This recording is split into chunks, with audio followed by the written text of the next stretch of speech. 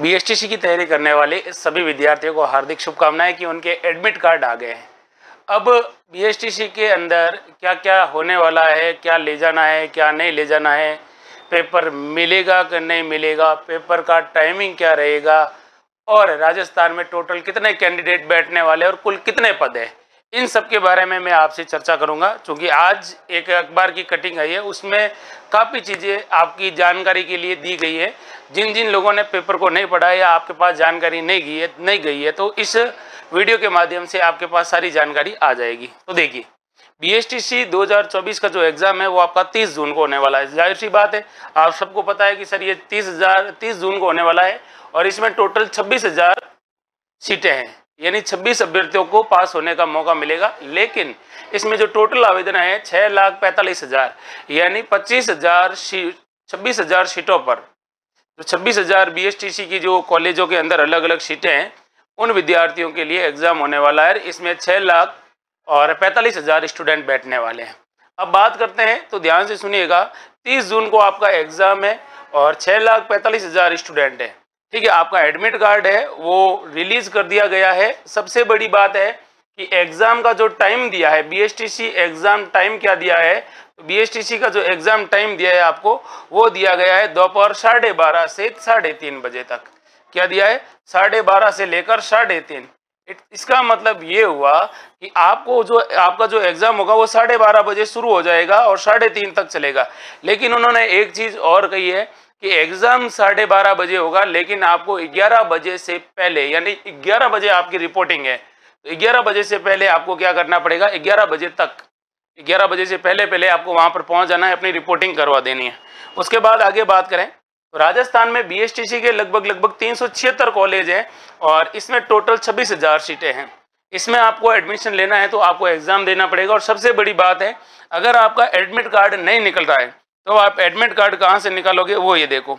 वो लिखा है pre D L E D Raj 2024 देखो इधर pre D E L E D 2024 ये क्या है इसका? एडमिट कार्ड है और यहाँ से क्या निकलेंगे?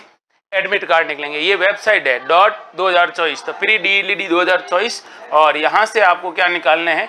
एडमिट कार्ड निकालने। अब एक बात और है कि सर एग्ज़ाम होगा तो हमें साथ में क्या ले जाना है क्या नहीं ले जाना है? तो उन्होंने सीधा कहा है कि आप जब एग्ज़ाम देने के लिए जाओगे तो आपके पास, आपका पासपोर्ट साइज़ फ़ोटो होना चाहिए।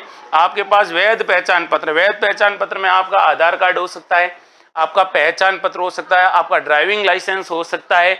इसके अलावा इन्होंने कहा है कि आपका पासपोर्ट भी हो सकता है। तो ये सारी चीज़ें आप इनमें से कोई एक लेके जाओगे। दूसरी बात, इन्होंने ये भी कहा है कि आपको आपकी ओरिजिनल आईडी लेके जानी है छाया प्रति यानी फोटोकॉपी साथ में नहीं लेकर जानी है।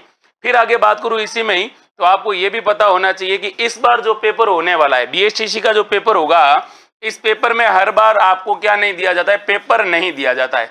तो इस बार आपको पेपर दिया जाएगा। पेपर के साथ साथ आपको ओएमआर की कार्बन कॉपी भी दी जाएगी। तो ध्यान से सुनिएगा वापस बीएसटीसी के अंदर इस बार आपको बीएसटीसी का पेपर घर ले जाने के लिए दिया जाएगा। आप जो ओएमआर आपके पास होगी, उसके नीचे एक कॉपी होगी कार्बन कॉपी वो भी आपको दी जाएगी। तो पेपर और ये सब दी जाएगा अब आप बात करेंगे कि पेन कैसे लेके जाना है। तो पेन एकदम ट्रांसपेरेंट पेन लेके जाना है, पारदर्शी पेन और पारदर्शी पेन भी कैसा होना चाहिए आपका? नीला होना चाहिए या फिर काला होना चाहिए? तो नीले या फिर काले यानी ब्लू या ब्लैक रंग का आप इंक है, वो वाला पेन लेके जाओगे। बिल्कुल ट्रांसपेरेंट पेन लेके जाओगे। एग्ज़ाम हॉल में आप जब जाओगे तो आपका जो ड्यूरेशन रहेगा वो 11 बजे रहेगा। हालाँकि 11 बजे आप पहुँच जाओगे कॉलेज में, साढ़े बारह तक आपकी रिपोर्टिंग होगी। उसके बाद आपका पेपर शुरू होगा। तो जितने भी दोस्त हैं बी की तैयारी कर रहे हैं, जिनको अभी तक इसकी जानकारी नहीं थी, वो सारी जानकारी अपने दोस्तों तक पहुँचाए, ताकि आपके दोस्त है, अपनी तैयारी को और बेहतरीन कर सके, अच्छी कर सके। बाकी एक नए सेशन के बीच एक नए वीडियो के साथ आऊँगा, नई जानकारी के साथ। तब तक चैनल को सब्सक्राइब कर देना। वीडियो अच्छा लगे तो वीडियो को लाइक भी कर देना। थैंक यू जय हिंद।